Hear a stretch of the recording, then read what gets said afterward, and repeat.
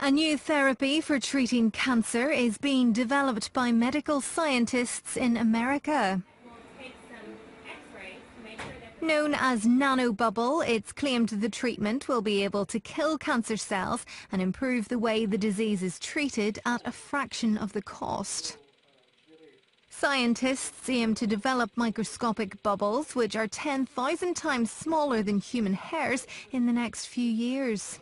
When this technology will get to the clinic, and hopefully it will happen in several years, we will improve patient survival rate, we will improve patient quality of life, and we will make the treatment much shorter and much less and much more comfortable. The gold nanoparticles will then be injected into the patient and penetrate only cancer cells.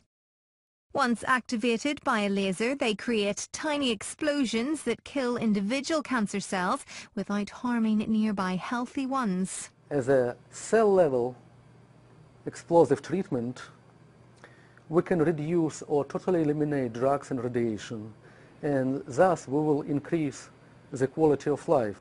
This new type of nanomedicine has already shown success in treating head and neck cancers and prostate cancer in animals. It's hoped that human testing will begin in the near future.